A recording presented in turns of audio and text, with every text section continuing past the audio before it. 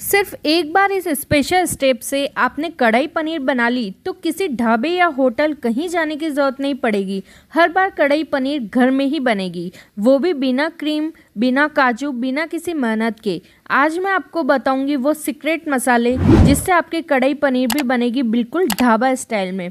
India में आप कहीं भी चले जाएँ, अगर पाँच कोई भी सब्ज़ी ऑर्डर करनी हो तो उसमें से सबसे स्पेशल कढ़ाई पनीर ही रहती है दोस्तों सबकी।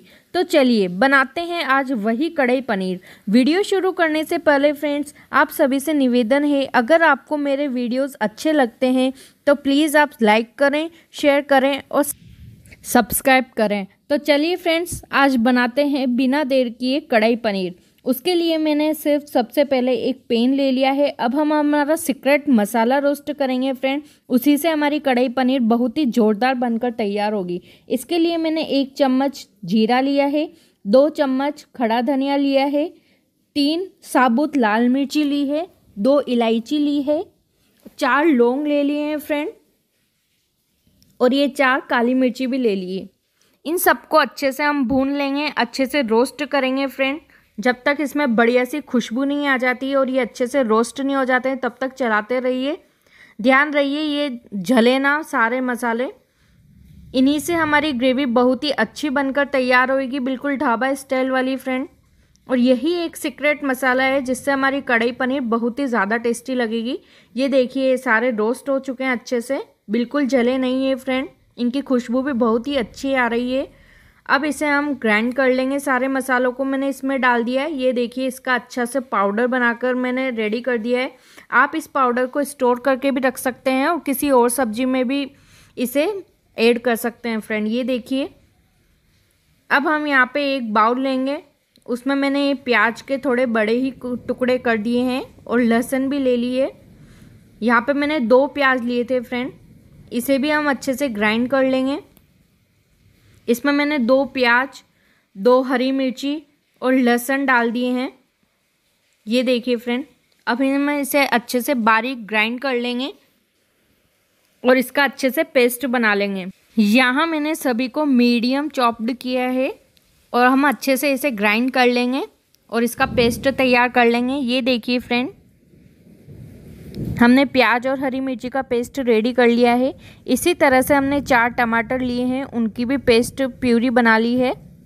अब यहाँ मैंने फ्रेश अमूल का 250 ग्राम पनीर लिया है फ्रेंड आप चाहें तो आपके अकॉर्डिंग कम या ज़्यादा भी कर सकते हैं, पर ये चार मेंबर के लिए इनफ है। 250 ग्राम पनीर तो होना ही चाहिए फ्रेंड ये देखिए, इसे हमने स्क्वायर में कट कर लिया है। आप चाहें तो राउंड शेप में या फिर किसी भी शेप में कट कर सकते हैं। अब हम इसमें मसाले कोट करेंगे। यहाँ मैंने आधा चम्मच हल्दी पाउडर, आधा चम्मच लाल मिर्ची, आधा चम्मच धनिया और आधा चम्मच मैंने सॉल्ट ऐड किया है इसमें। इससे हम अच्छे से पनीर को कोट कर लेंगे इन सब मसालों से। ये देखिए फ्रेंड कितने अच्छे से इसमें मसाले लग गए हैं। ये देखिए।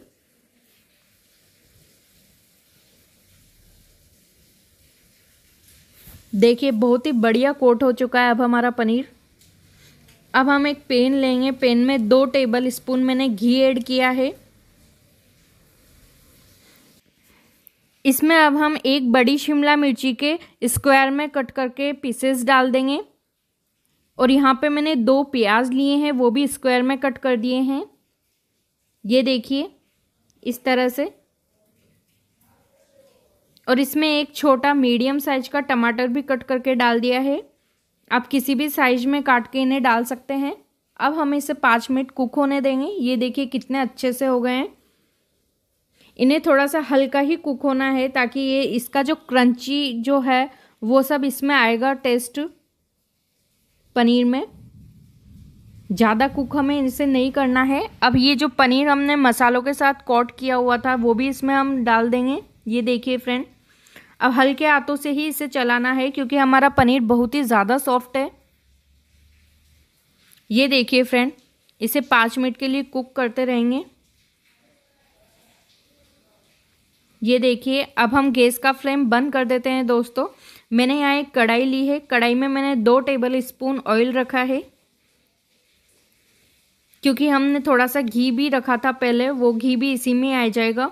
ये देखिए, मैंने एक पिंच हींग डाली है, आधी चम्मच राई और आधा चम्मच ही जीरा डाला है इसमें। इसमें मैंने एक दालचीनी का टुकड़ा डाला है। अगर आपको इसका फ्लेवर नहीं पसंद है तो आप मत डालिए। इसको स्किप भी कर सकते हैं।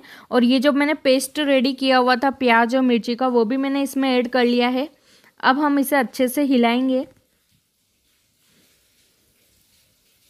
जब तक इसका कच्चापन दूर नहीं हो जाए फ्रेंड उसके बाद हम इसमें टमाटर की प्यूरी ऐड करेंगे।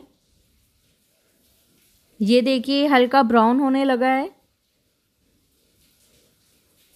अब हम इसमें वो प्यूरी जो हमने रेडी की हुई थी, वो भी ऐड कर लेंगे। ये देखिए फ्रेंड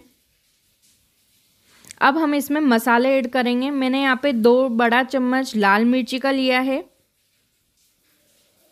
आधी चम्मच मैंने हल्दी यूज़ करी है। आधी चम्मच मैंने इसमें धनिया पाउडर ऐड किया है फ्रेंड और दो टेबल स्पून मैंने नमक ऐड किया है। अगर आपको नमक कम पसंद है तो आप नमक कम डालें। ये देखिए फ्रेंड हमारे मसाले इसमें अच्छे से पक रहे हैं। अब हमने जो सीक्रेट मसाला हमारा बनाया था, वो भी हम इसमें ऐड कर देंगे। या मैंने तीन टेबल स्पून वो सीक्रेट मसाला डाला है। इससे हमारी ग्रेवी बहुत ही अच्छी बनकर तैयार होगी फ्रेंड। बहुत ही लाजवाब लगेगी वो ग्रेवी जो बनेगी।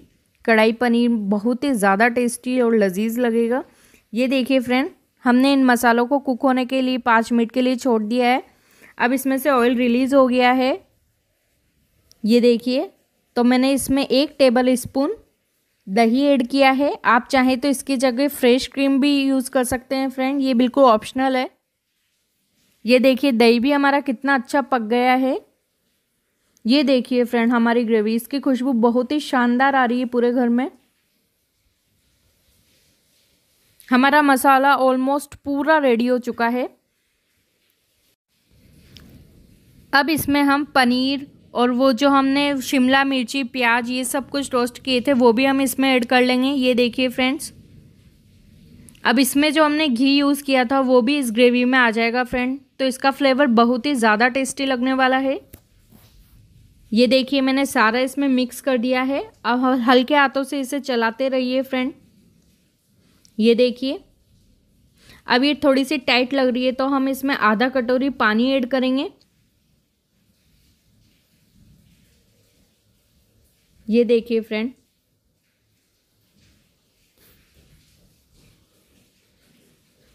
इसमें मैंने अब कसूरी मेथी भी थोड़ी सी ऐड कर ली है। इससे भी सब्ज़ी का टेस्ट बहुत ही अच्छा लगता है दोस्तों।